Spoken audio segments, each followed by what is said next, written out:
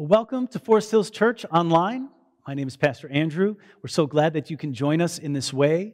Uh, we want you to know that we are a church who loves God with all of our heart, that we seek to grow in our faith, and we hope to serve through the empowering of the Holy Spirit.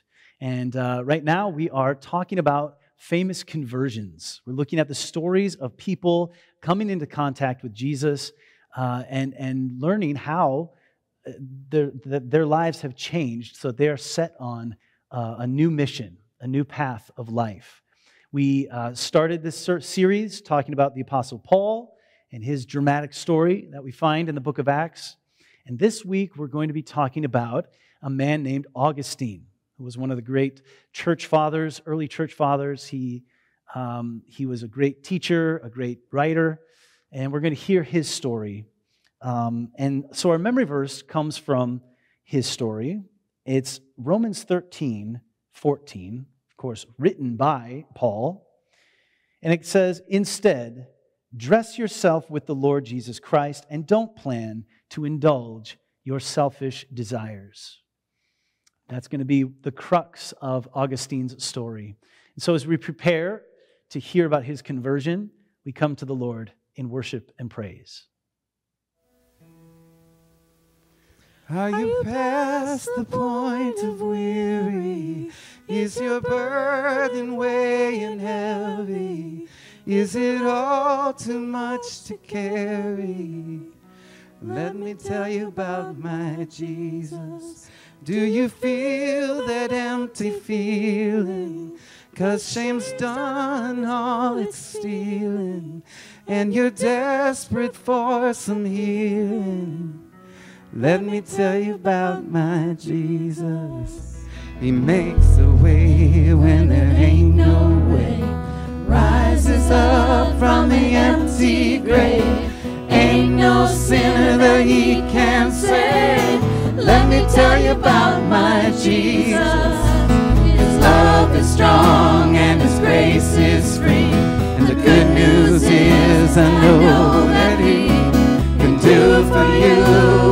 Done for me.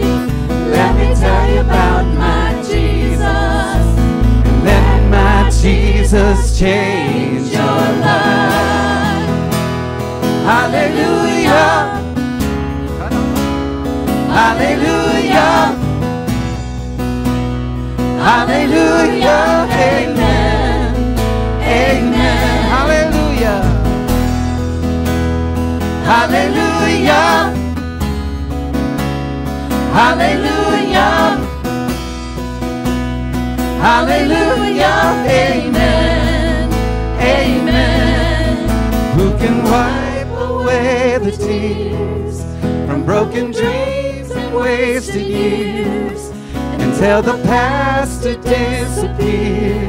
Well, let me tell you about my Jesus and all the wrong turns that you would go and undo if you could.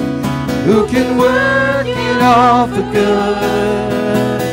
Let me tell you about my Jesus.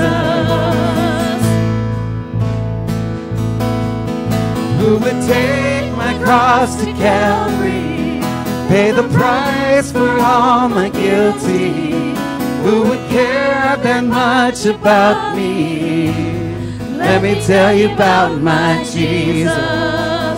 Oh, He makes a way when there ain't no way.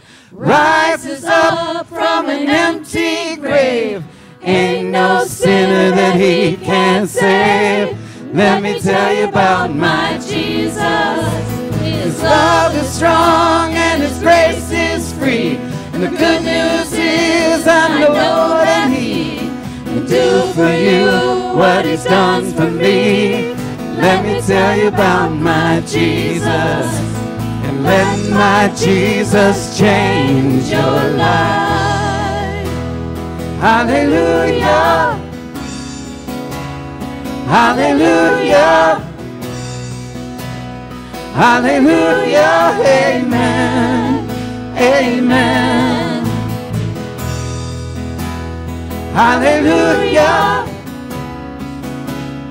Hallelujah.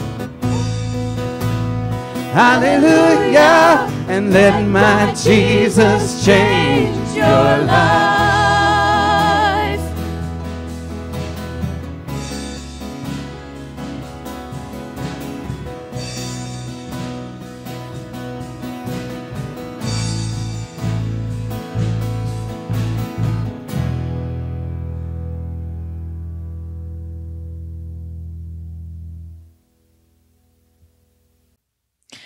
Greetings to Forest Hills Church. I'm really delighted to be here today. I'm your district superintendent, Michelle Hargrave, and I'm going to be reading the scripture today, which is Romans 7 14 through 25. And this is the Apostle Paul baring his soul as he recounts the battle that wages within himself. As Christians, it is a fight we all identify with and an enemy with which we all must engage. This is Paul. We know that the law is spiritual but I'm made of flesh and blood, and I'm sold as a slave to sin. I don't know what I'm doing because I don't do what I want to do. Instead, I do the thing that I hate. But if I'm doing the thing that I don't want to do, I'm agreeing that the law is right. But now I'm not the one doing it anymore. Instead, it's sin that lives in me. I know that good doesn't live in me, that is, in my body. The desire to do good is inside of me, but I can't do it. I don't do the good that I want to do, but I do the evil that I don't want to do. But if I do the very thing that I don't want to do, then I'm not the one doing it anymore. Instead, it is sin that lives in me that is doing it. So I find that, as a rule, when I want to do what is good, evil is right there with me. I gladly agree with the law on the inside, but I see a different law at work in my body. It wages a war against the law of my mind and takes me prisoner with the law of sin that is in my body. I'm a miserable human being. Who will deliver me from this dead corpse? Thank God through Jesus Christ our Lord. So then I'm a slave to God's law in my mind, but I'm a slave to sin's law in my body. Here ends the reading. Today we are looking at famous conversions, at stories of people coming into contact with Jesus. And when people come into contact with Jesus, their lives are changed. Last week, we described some underlying factors that conversion entails. Things like a vision of the truth. That's the thing that initiates conversion, seeing and understanding the truth. And the truth is not always a pretty picture. The truth points out the simple and ugly fact that each and every one of us are sinners, that we are far from perfect. And the truth is that that sin is a problem.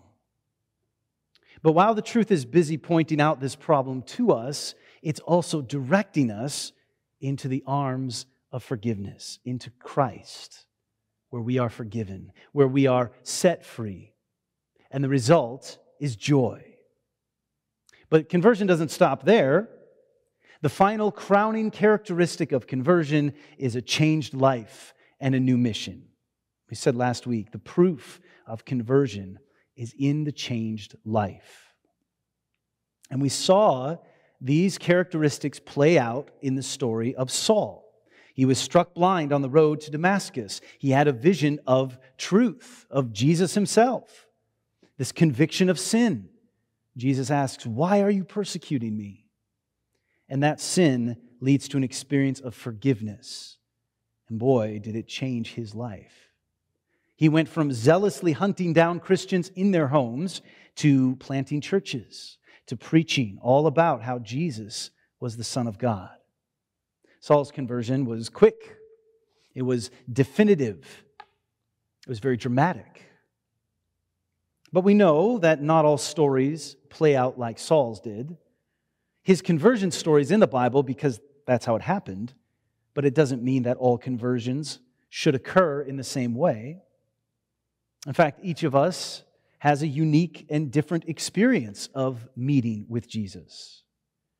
Maybe some of us are actually still in the process of being converted. Maybe we are we have yet to come into full contact with Jesus. Maybe we're struggling with uh, the notion of our sin. Maybe God is still revealing to us the truth. Maybe we haven't fully, quite fully accepted forgiveness. And if that's true, of you today, I just want to encourage you to keep seeking, to keep praying, to keep clinging to His Word, and also to keep in mind the following story of our next famous convert. He is known as Augustine or Saint Augustine. He served as the Bishop of Hippo in North Africa, which is now modern day Algeria. And Augustine is considered one of the most influential of the church fathers. His writings tend to focus on the great gift of God's grace as our means for salvation. And so, as a result of that, many Protestant thinkers, especially the reformers, they have attached themselves to his teachings on grace. He wrote a book called The City of God. It's one of the great theologies written in defense of the Christian faith. Um, my, the version I own, it's only about a thousand pages if you are looking for some summer reading. Uh, but much more approachable, much more easy to digest is Augustine's other book called Confessions. It is um, basically his autobiography. And it, it's interesting because it reads basically as a letter written to God. So throughout the book, Augustine addresses God as you. You. So that provides a very prayerful, a very intimate picture of Augustine's walk with God. And so I do recommend, if you have the capacity, um, it would definitely be a book well worth reading the Confessions. Um, Augustine was born in 354 in North Africa. His father was not a religious man, but his mother, Monica, she was incredibly devoted to the Lord, as we'll see later on. Uh, Augustine, growing up, was a brilliant student. He was well read. He was trained as a philosopher, a rhetorician.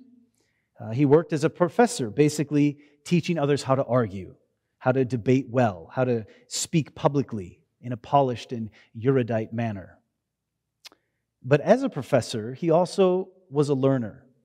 He never stopped learning. And throughout his years, he was never just content to settle on one mode of philosophical thought. Because he found that after thinking them through, they would come up rather empty, or there would be some inconsistency that he would be unable to harmonize.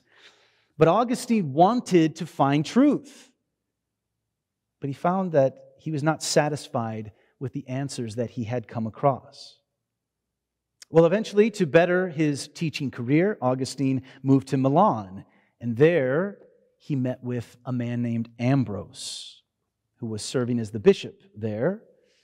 And Augustine attended his services and listened to Ambrose preaching, but he did so only to observe, only to appreciate his skills as a speaker. Augustine did not pay attention to the content of the sermons, but he eventually found that despite himself, some of the content was seeping in. Some of it was making an impression. And he found that he could not keep the style and the content apart. We would say the Holy Spirit was up to something in Augustine. But in his confessions, Augustine admits, he writes, I was not yet ready to pray with a groaning humility for your help, that is God's help. My impulse was for intellectual challenge. I itched for argument. And so, in his quest and cha- for, for challenge and for argument, Augustine dove deep into the abyss of living into his own pride he sought to be the best at what he did and to sink his identity into the recognition he received and into earning higher teaching fees. But he also became lost in his lust of the flesh. He maintained a mistress for many years, uh, who he never bothered to marry and who served to fulfill his desires. But Augustine thought himself to be a moral, good, upstanding citizen he had his, his set of values. For example, he avoided the games, right? That is the spectacle of the gladiators. And he didn't go in for such, he didn't believe in such barbarity, so he stayed away from the games, and therefore he was a good person. But despite his self congratulatory gold stars, Augustine was slowly coming to grips with his own prideful outlook. He came to realize that he had dismissed Christian teaching without ever fully understanding it. that what he knew about Christianity, he knew from secondhand sources or even heretical sources. He admits, he says, the only notion I had of Christ at that point was of a man wise beyond all others. Now, doesn't that sound like our world today? How often do people reject Christianity without actually knowing the claims of Christ? Or how many people, if asked about Jesus, they admit that he was a very wise teacher, maybe the wisest. And yet his wisdom, instead of being followed to its conclusion, it's at best just sampled. And at worst, it's twisted into something else entirely. And so that's why good teaching is so crucial. That's why God's word is so crucial because wisdom can be easily twisted. And, and, and it's also why commitment to Jesus cannot just be characterized as an easy thing or something that we just kind of add into the mix of life. We read in John chapter 6, uh, Jesus is teaching about how he is the bread of life, about how all must partake of him in order to be saved. And the people listening decided that that teaching was too hard. It was too confusing. It didn't make sense to them. And Jesus goes on to say that no one can come to, the, to him unless the Father enables them to do so. He says that his followers must eat his flesh and drink his blood. And at this point, many of his disciples turn away. They stop following Jesus because things got too hard, too confusing. Following Jesus, where he actually leads, is hard because where he leads is to the cross. Following Jesus is hard because where he leads is to the cross. He tells us plainly that we must take up our cross and follow him. The cross is a place of misery and torture and death. We don't want to go to the cross. We don't want that kind of pain and sorrow. But what we fail to see is that beyond the cross is a lush, beautiful pasture, a place where quiet streams flow and where our souls are restored. But see, the way to that heavenly pasture is through the brutality of the cross. And so we come to a question can we stick with Jesus? Can we follow him all the way? Or are we going to turn from him when things get hard? Well, after experimenting with different teachings, teachings of dualism uh, and Platonism, which is just these different philosophical ideas, Augustine worked through those and he continued his quest for truth. And he writes, I came to the reverend writings of your Spirit, that is the Holy Spirit, and especially to the Apostle Paul, with a grasping eagerness. I love that phrase. How often can we say we come to God's word with a grasping eagerness? That even before he was converted, even before that moment, Augustine considered the Bible to, to have value. That in these, in these pages, he saw some sort of light that he was grasping for with eagerness. Now, halfway through his confessions, Augustine refers to himself as one on the brink. He writes, The life I had led disgusted me, no longer on fire as before, with ambition for glory and wealth. And so we can see that he's beginning to see truth. The Holy Spirit is beginning to bring about a conviction of sinfulness, right? He's had a vision of truth. He's been reading God's word, and now he's understanding sinfulness and he has become disgusted with his life. Have you been there? Augustine also sees that his will to choose has been chained. By a chain, he writes, a chain that begins with an urge. And that urge, yielded to, becomes a compulsion. And the compulsion, unresisted, becomes a slavery. So, urge to compulsion to slavery. And he sensed in himself two wills one old, one new, one of the flesh, one of the spirit, each warring on the other, and between their dissonances, my soul was disintegrating. Have you ever been there? Now, one day, Augustine was visited by a friend named Pontitian. Uh, and Pontitian began to tell him a story about some other acquaintances that they had had, and these friends had come to Christ. And as he spoke, Augustine writes, I'm actually just going to read the read right from the book. And just listen to this description of coming to grips with oneself. Uh, he says, well, While Pontitian was telling this story, you, Lord, used his words to wrench me around in front of myself, dragging me out from behind my back where I had cowered to avoid seeing myself, and planting me in front of my own face where I could see the foul me. How distorted and dirty, how spotted, how ulcerous. The sight revolted me, but there was no escaping it. Each time I tried to turn my gaze away from me, he went on with his story, and you kept holding me there, thrusting me into my own face so I might look on my sinfulness and learn to hate it. I had known of it before, but I kept obscuring, giving in, not remembering. And Augustine goes on to say, he writes a prayer for chastity. He, he would say, God, give me chastity and self control, but not just yet. I was afraid you would hear me too soon, heal me too soon from my sick urges, which I wanted intensified rather than terminated. So, has that ever been you? Have you ever been disgusted with yourself? Or have you ever prayed for change, fully intending to do what you can to keep your life as it is? Or, or prayed for forgiveness, all while planning on sinning? Have you ever been at war? And in fact, we're all fighting or surrendering at this very moment. We are either fighting against our sin or surrendering to our sin. Or we're either fighting against God's Spirit or surrendering to God's Spirit.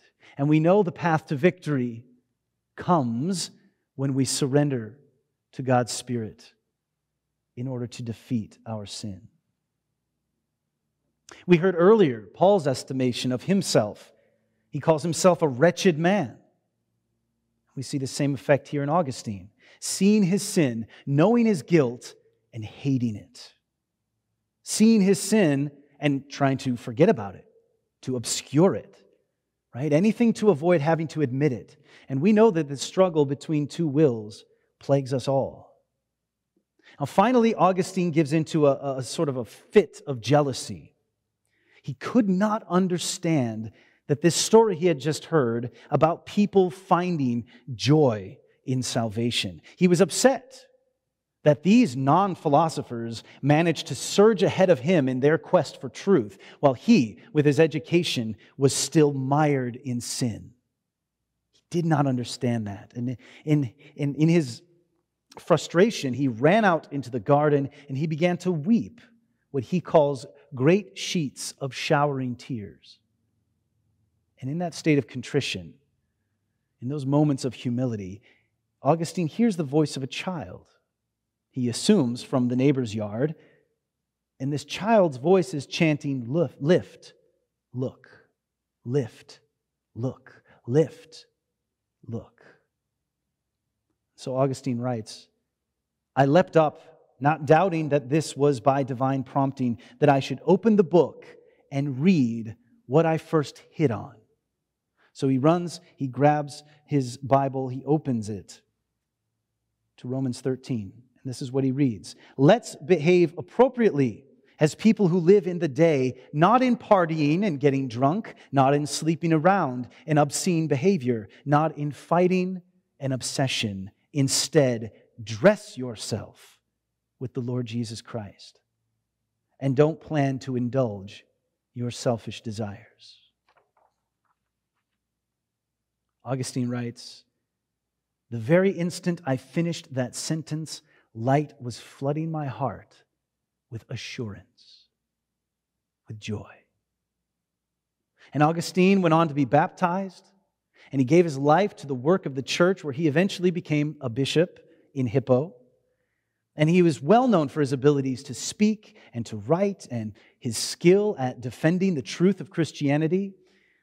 Uh, and in this regard, we see many parallels with the Apostle Paul's story, right? In both men, God had invested great gifts and abilities, and in both, those gifts were ultimately used in service to God and to the building of his church. Both men heard a voice, one directly from the Lord in Paul's case, and one that directed him to the word of the Lord in Augustine's. And we also have a very interesting cumulative effect here, right? The fact that Paul's conversion and his changed life now directly affects the conversion of Augustine. Paul's faithful work leads Augustine to the Lord hundreds of years later. And I think we can claim the same for ourselves that our faithful work can and will do the same. If we remain faithful to the Lord, maybe not today, maybe not tomorrow, but down the line, our faithful work can lead others to the Lord. Now, certainly there are many differences. Unlike Paul, Augustine spent years struggling to find the truth. He agonized over what to believe and why. And in the midst of that struggle, the Holy Spirit was hard at work until the scales were finally tipped and Augustine reads the words that Paul himself had written. And in those words, he glimpsed the truth and he saw his sin for what it really was. He discovered the joy, the assurance of forgiveness, and he took on a new mission in life. Augustine was converted. He was forever changed by his Lord and his Savior, Jesus Christ. But remember last week. Last week we said disciples make disciples. In Paul's amazing conversion story, there's a normal guy named Ananias who is faithfully serving the Lord, and he comes to uh, disciple Paul. Augustine's story is no different. We mentioned earlier his mother, Monica. And Monica was a true believer. She was a faithful disciple, and she fervently prayed for Augustine's salvation his whole life. She never accepted that he would remain lost, and she placed all her faith into the power of the Holy Spirit to convert her son. At one point, uh, as she labored over his salvation, she, she even asked a priest to meet with her son and in order to refute his bad thinking and convince him of the truth. But the priest encouraged Monica to keep praying. Leave the boy alone. He's not ready. He won't listen. But he told her, Be off and get on with your life. The son of such tears as you are shedding will never be lost. And he wasn't. And Augustine knew well that his salvation was not just happenstance or a result of his personal uh, quest. He knew the prayers and tears and time that his mother had invested on his behalf. He knew that his connection to Jesus was an answer to her prayers. And so I want to ask if you might be willing to be a Monica.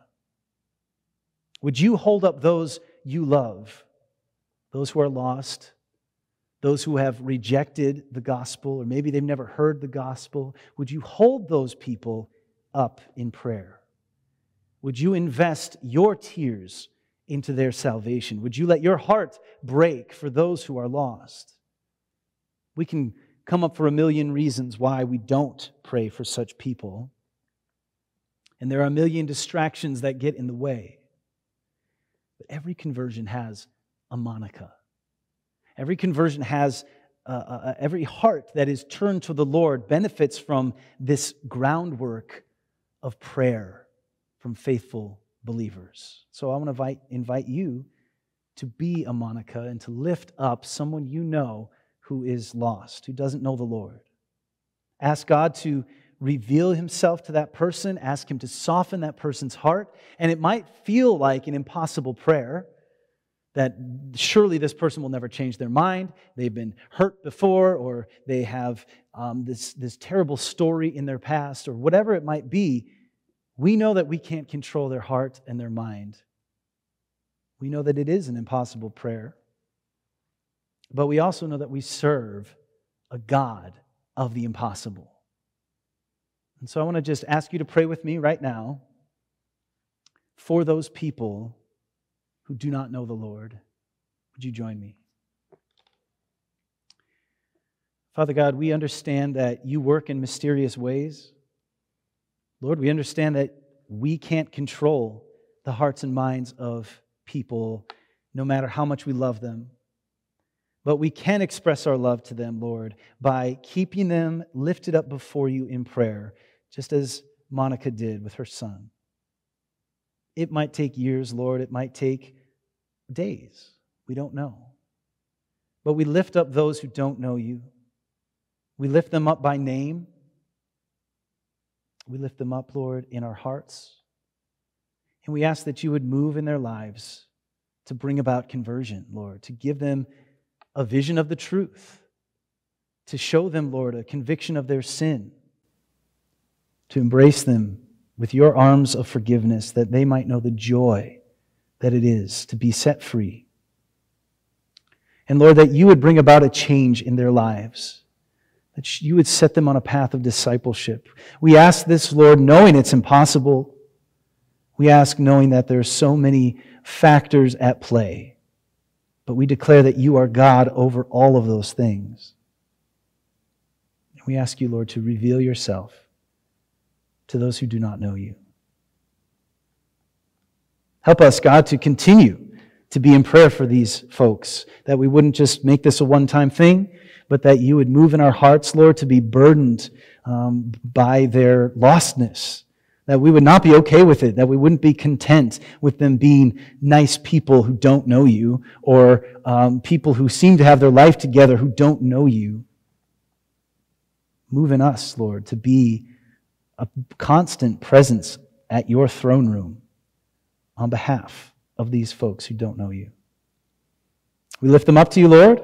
We pray in faith and in great hope that you will move in their lives. And it's in Jesus' precious name we pray. Amen. Well, as we come to the end of our service, I want to encourage you to, uh, to, to keep on praying for those who don't know the Lord, that we all have been converted, and everyone who hasn't needs to be converted. Uh, and it's, a, it's such a, a, wonderful thing how Jesus comes to each of us in such a unique way. Uh, so, next week, we're going to be talking about a Catholic nun named Saint Teresa of Avila. And uh, she has a very unique story, and we're going to hear how Jesus reached out and how she was converted. So, I want to encourage you to join us for that. But as we go, we go with our memory verse, Romans 13 14. Instead, dress yourself with the Lord Jesus Christ and don't plan to indulge your selfish desires. So let me dismiss you as we go. May the Lord bless you and keep you. May his face shine upon you and be gracious to you.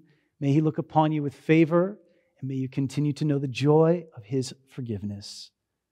Go in peace. Amen.